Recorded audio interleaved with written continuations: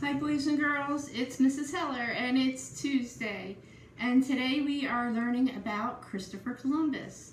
Now the reason we're learning about Christopher Columbus is because we celebrated Columbus Day, the holiday, yesterday and that's why we didn't come to school yesterday. So we are going to learn a little bit about Christopher Columbus. We are going to watch a BrainPOP Jr. video and Annie and Moby are going to tell us the true story of Christopher Columbus. And there's also a Columbus Day song in my classroom that you can listen to. Okay, so I hope you enjoyed learning about Christopher Columbus. Have a great day.